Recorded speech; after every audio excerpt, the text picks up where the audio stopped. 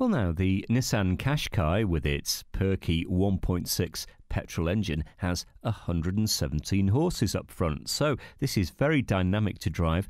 It's going to put a big smile on your face, certainly, when you're behind the wheel. 0 to 60 in under 12 seconds.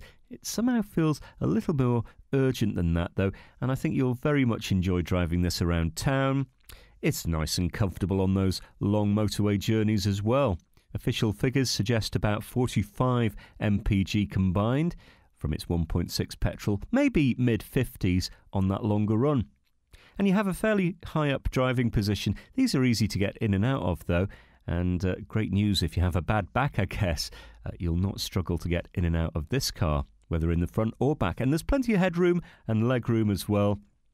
So, all in all, a popular, very practical car, and you'll definitely make friends. Why not ring and reserve?